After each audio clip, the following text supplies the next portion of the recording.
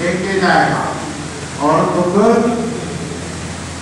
कहते हैं ना, बड़े बुज़ुर्ग, बादाम खाने से जितनी अकल नहीं आती, ठोकर खाने से आती है। है या नहीं?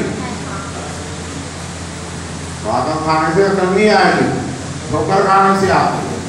तो फिर, अब बादाम है, सुख और ठोकर है, दुख सिखाया किसने? किसने सिखाया? बादाम में दुख ने आपको चाहिए आपको ना कहिए चाहिए हम खाएँगे आज